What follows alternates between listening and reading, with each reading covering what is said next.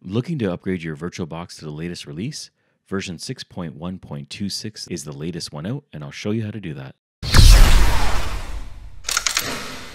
Since my last VirtualBox update video, there's been two maintenance releases, and here they are. There's been a series of minor updates. These are, again, maintenance releases, so there are no major or significant changes that have been made. These are mostly just ironing out the kinks of little issues that have happened here and there, and they periodically release updates to fix those issues. During the next major release, I plan on doing an update for that, which we're expecting in a couple months from now.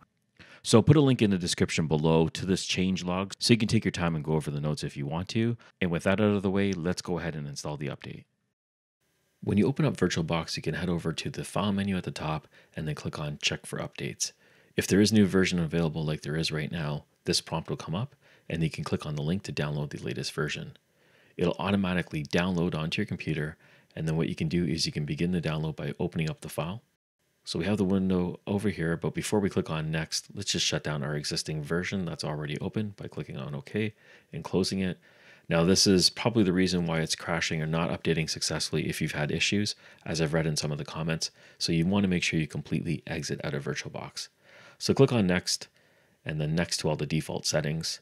Uh, we're going to leave all the shortcuts and everything as is.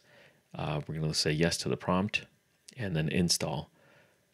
So we'll get a prompt here for Windows and you can say yes to that. And it's going to download and extract all the required files.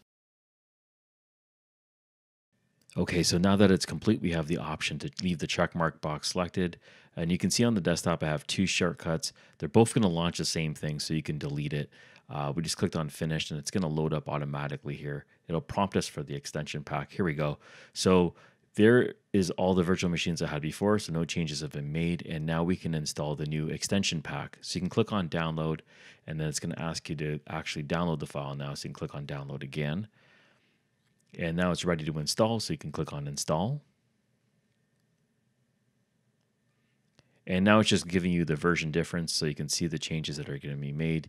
You can click on upgrade and now we can scroll down to the bottom here and then select I agree.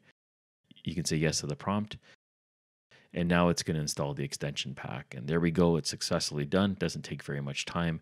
And now it's going to delete all the older files that we have. So we'll let it do that by clicking on delete here twice and everything has been done. So now we have VirtualBox completely upgraded. If you go to the About VirtualBox, you can see that the new version has been loaded up here and there's a version number. So we're up and running and we can go ahead and we can just start using VirtualBox like we were before with all the changes that were in the changelog now implemented.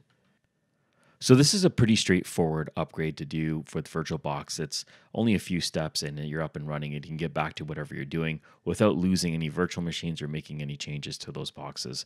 So if you found this video useful, please give me a thumbs up. If you have any questions, you go ahead and put them in the comments below.